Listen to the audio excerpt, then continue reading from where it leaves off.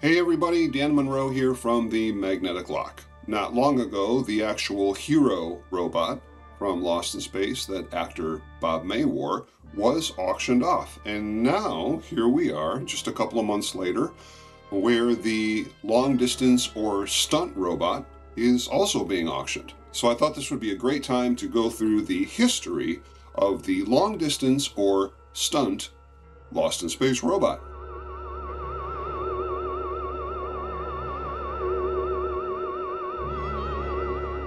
Lost in Space ran for three seasons. They decided that the robot was going to do a little bit more special effect wise, and it would be nice to have a, a stunt stand in for the robot. So they created a long distance robot or stunt robot, which was basically a lightweight fiberglass shell. It was not as detailed as the original robot. It was not designed for an actor to get inside. It was not as articulated as the regular robot. It was meant as a stand in for special effects shots. The lineage of this robot is original because they used the original Hero molds to make this stunt robot. They just did it in a way where it would remain extremely lightweight. This particular stunt robot was first seen in the opening sequences of the first third season show, Condemned of Space, where the robot is sucked out of the airlock into space. All of the shots of the robot floating around outside the main viewport, that's the stunt robot. He can also be seen battling androids and space destructors, hanging upside down in the junkyard in Junkyard in Space, which was the final third season episode. But most notably, he played the robot's evil twin in the Anti Matter Man third season episode, where he was painted white and black and had a strange green mouth. The original castings, especially of the torso, were extremely, extremely rough, and you can see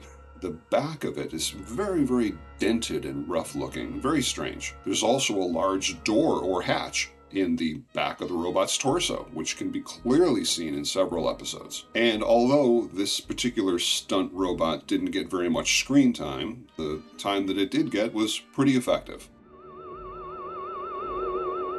When Lost in Space was canceled, the stunt robot ended up in the possession of Greg Jein, who sadly has recently passed away. Greg was a brilliant, brilliant model maker and worked on all kinds of incredible Hollywood and television productions. At any rate, what was left of this particular stunt robot sat in one of his storage garages for years and years and years. In fact, in the early 80s, there was a Starlog magazine that had a picture of this stunt robot kind of shoved in the corner, all broken and destroyed looking. And back then, myself and everybody else pretty much assumed, oh, that's the actual hero robot.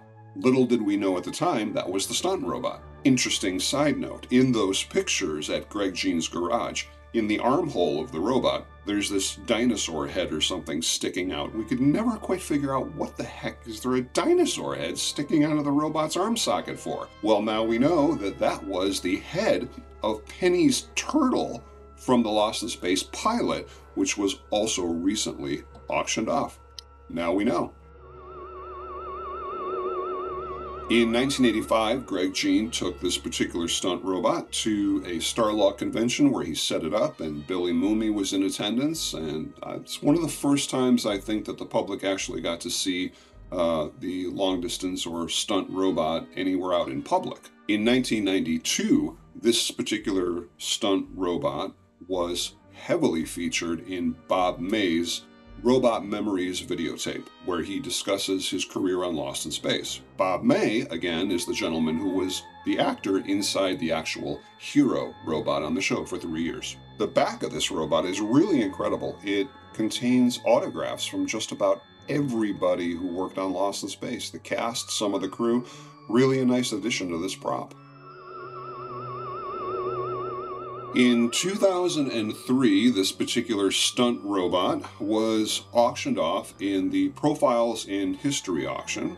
I don't know what it went for, but I would imagine it was a pretty penny. At the time of the Profile in History auction, the robot still basically looked the way Greg Jein had semi restored it and was still pretty faithful to the way that it looked in the show. This might be slightly controversial, but this is just my opinion. In 2003, after the Profiles in History auction, the robot was restored by a gentleman who does restoration work. A fully articulated brain was put in, which it never had. This robot never had a neon mouth, it just had tubes in it because it was cheaper to produce that way than making a second neon mouth that was lit from behind with just a simple bulb. Of course, these days it has an actual neon mouth because that's the way it was restored. And in my opinion, it should have been restored to the way it looked in the show. But unfortunately, it wasn't. It was restored to look like the hero robot. Exactly. Not really sure why that creative choice was made, but that's the way it went.